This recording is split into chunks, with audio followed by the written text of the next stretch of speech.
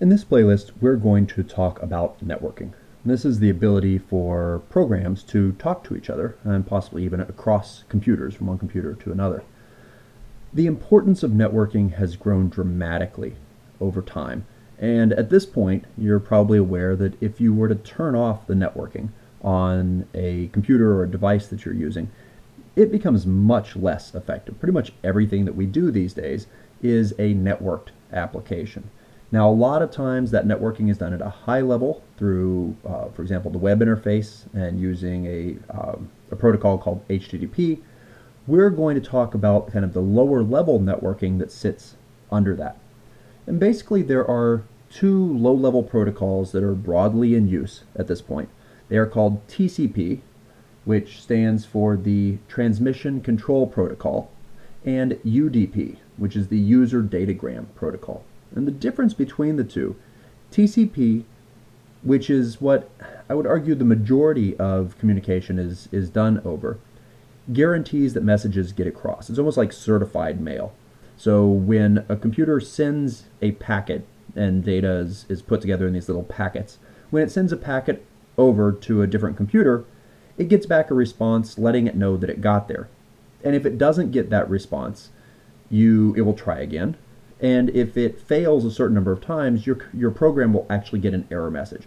So with TCP, if something goes wrong and your message isn't delivered, you will find out. There will be an exception in our code. UDP, on the other hand, is used for certain specific applications that need speed and are willing to tolerate things being lost. Okay, so it just sends a packet of data across the network and hopes that it gets to the other side. And if you have a good network connection, odds are it will get to the other side. Uh, but some things will be lost, even on a good network connection. We are going to focus on the TCP, uh, in part because of the extra challenges that are that come into play when you do UDP, um, and in part because it, it doesn't just make our lives easier, it is kind of the thing that's used most. If you were going to do, for example, a networked game, gaming is one of the areas where they use UDP a lot because they care about the network speed. Okay, so to start off with, we're going to write a simple chat application and we're actually going to, so that we can illustrate it, write a chat application that where we create both the client and the server. So I'm going to make a chat client and I am also going to make an app called chat server. And we'll come back and we'll talk a little bit about what these should do, but I want to show you kind of the code that's used in order to set things up. So when you're doing your networking through TCP, you wind up creating things called sockets. And this is probably an area where it helps to go look in the API. We are using the Java API here again. There is a package called java.net for networking, and so we'll be using a lot of things that are inside of here. There is a class called a socket, and there is a class called a server socket. And so on the server side, you create a server socket, and you have to give it an integer for what's called a port. Now it turns out that the way things are set up, there are 2 to the 16 ports available on your computer. So that means that you can go up to 6,500, 535 uh, as your, your largest port number.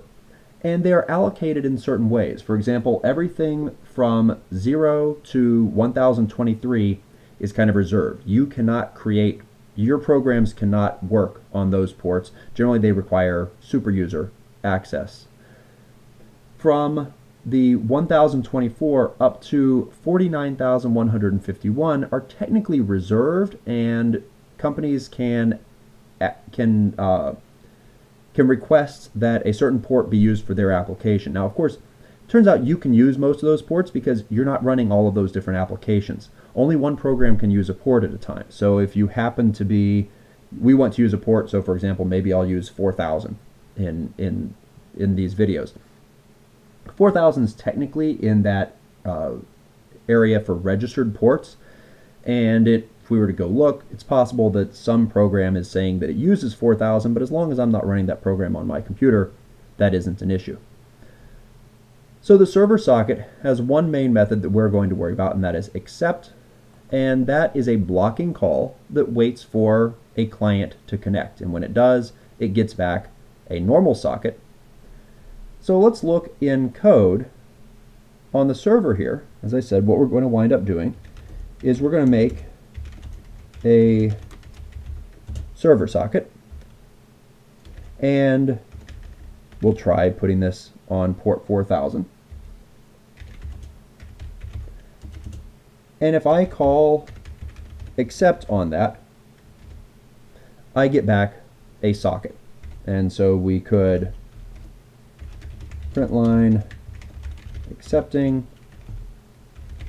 print line got socket, and just for funsies, we could actually print out that socket. Not that it's going to print anything that's particularly useful to us. On the client side, we can create socket objects directly. So if we go to socket, there is a there's quite a few different ways you can create sockets. The one that we are going to work with is the one where we give it a host and a port. So this is a socket connection that goes to a different computer, though it could be the computer. In this case, I'm going to run all of my examples on one computer. The server will be here, and the, the client will be here. But it doesn't have to be. We can specify the computer we want to connect to, and it could be some other computer, and then the port number that we want to connect to on that computer. Um, and of course, if there's no program listening on that port on that computer, our connection attempt will fail. So in here, I'm going to create another socket. But this one I'm creating directly by building a socket. And this socket, I need to give it a machine name. Now, if you're running your program on your local computer, you can always use localhost. And I just have to make sure that I use the same port number here. So print line making socket, print line, socket made. Okay. Let's try running these. So if I run the server, it prints out accepting, and then it hits this call. Now remember, this is a blocking call. So this is just going to sit there and wait until a connection comes through. If I come over here and I run this, it well, this, I'll have to jump between them. The client said making socket and then socket made. And then the server wound up getting the socket and it printed out some information. It told us where this came from, uh, the port where it originated, and the port that it's using for the, for the connection. So this gives us kind of a brief introduction. These sockets are kind of the underlying mechanism that is used for all of the, the networking that you do. Uh, basically, no matter how you do your networking, there's there's sockets underneath it. Even if you're using UDP, there there's a different class called a datagram socket. Uh, but the socketing underlies all of the networking that uh, that we'll do. And what we want to do is we want to build up on this chat application. Um, we need to figure out how to talk through these sockets. So we'll come back and we'll look at how we can take this a step further so that we can actually send messages back and forth. And not only back and forth, I'd like to be able to run multiple clients and have them communicate as well.